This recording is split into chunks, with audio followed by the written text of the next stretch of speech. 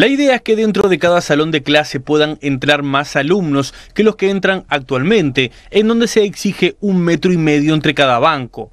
La propuesta la realizó el presidente del COICEN, Robert Silva, quien en contrapartida planteó que aumenten los restantes controles. Atendiendo a otras medidas de protección personal que los estudiantes puedan tener, por ejemplo en el caso de educación eh, primaria, el uso del tapaboca en forma permanente, la ventilación eh, ahora que el clima está cambiando eh, en mayor proporción este, en, nuestros, nuestras aulas, em, para permitir aumentar esa presencialidad. Tenemos que esperar, lógicamente, que el Ministerio de Salud Pública nos dé el visto bueno, pero creo que es bueno eh, seguir trabajando en lo que veníamos pensando hace tiempo.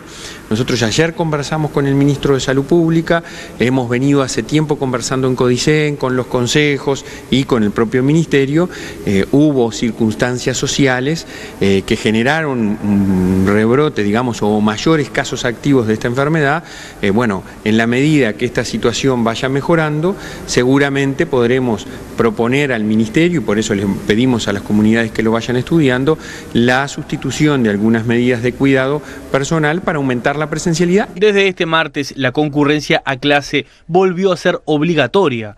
Silva afirmó que miles de niños se desvincularon durante estos meses de pandemia. Y la directora general de primaria lo decía en la sesión, estamos en el entorno efectivo de unos 4.000, 4.200 niños que están en una situación nosotros vamos a desarrollar diversas estrategias que la debatimos hoy.